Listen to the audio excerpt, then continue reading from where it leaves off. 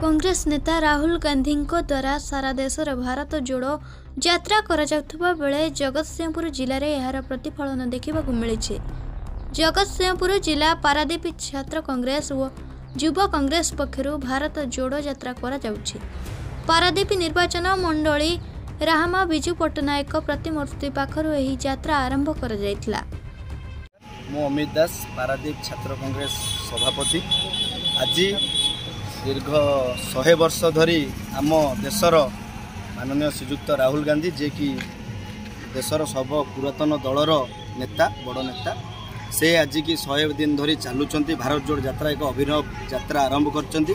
ଏଇଥିପାଇଁ ସେ ଆରମ୍ଭ କରିଛନ୍ତି। ଜନସାଧାରଣଙ୍କୁ ସିଏ ଏହା ଦ୍ୱାରା ଏକ ସୂଚନା ଦେବାକୁ ଚାହୁଁଛନ୍ତି ବା ସଚେତନ କରିବାକୁ ଚାହୁଁଛନ୍ତି କିମ୍ବା ଜନସାଧାରଣଙ୍କ ପ୍ରତି ତାଙ୍କ ନିଜସ୍ୱ ବାର୍ତ୍ତା ପହଞ୍ଚାଇବାକୁ ଚାହୁଁଛନ୍ତି ଯେ ଆଜି ଯେଉଁ ବିଜେପି ଗଭର୍ଣ୍ଣମେଣ୍ଟ ଦ୍ୱାରା ଯେଉଁ ବିଜେଡ଼ି ଗଭର୍ଣ୍ଣମେଣ୍ଟ ଦ୍ୱାରା ରାଜ୍ୟ ସରକାର ଏବଂ କେନ୍ଦ୍ର ସରକାର ଯେଉଁଭଳି ଭାବେ ଜନସାଧାରଣଙ୍କୁ ଶୋଷି ଚାଲିଛି ଯେଉଁଭଳି ଭାବେ ଦରଦାମ ବୃଦ୍ଧି ପାଉଛି ଯେଉଁଭଳି ଭାବେ ଅନ୍ୟାୟ ଅନୀତି ସବୁ ବଢ଼ି ଚାଲିଛି ଏବଂ ଧର୍ମକୁ ନେଇ ରାଜନୀତି ହେଉଛି ଏସବୁ ଯେଉଁଭଳି ଭାବେ ଚାଲିଛି ଏସବୁ ଛାଡ଼ି କେମିତି ଲୋକ ସଚେତନ ହେବେ ଏବଂ ଗଣତାନ୍ତ୍ରିକ ଉପାୟରେ ଆମ ଦେଶ ଭାରତବର୍ଷ ଏକ ଗଣତାନ୍ତ୍ରିକ ଦେଶ ଏଠି ସମ୍ବିଧାନକୁ ଫଲୋ କରି କେମିତି ଗୋଟେ ସଠିକ୍ ଏବଂ ପିଓର ରାଜନୀତି ହେବ ଏସବୁ ଉପରେ ରାହୁଲ ଗାନ୍ଧୀ ଏକ ଅଭିନବ ପ୍ରୟାସ କରୁଛନ୍ତି। ଏହି ପାରାଦୀପ ଛାତ୍ର କଂଗ୍ରେସ ସଭାପତି ଅମିତ ଦାସଙ୍କ ନେତୃତ୍ୱରେ ଶୋଭାଯାତ୍ରା ଓ ମୋଟର ସାଇକେଲ ଶୋଭାଯାତ୍ରା ରାହାମାରୁ ବାହାରେ ମଣିଜଙ୍ଗା ବୋଧେଇ ଗରଡ଼ ପଣ୍ଡୁଆ ସମେତ ସମଗ୍ର ପାରାଦୀପ ନିର୍ବାଚନ ମଣ୍ଡଳୀ ପରିକ୍ରମା କରିବା ସହ ରାହୁଲଙ୍କ ଭାରତ ଯୋଡୋ ଅଭିଯାନର ଆଭିମୁଖ୍ୟ ଓ ସଫଳତା କାମନା କରିଥିଲେ।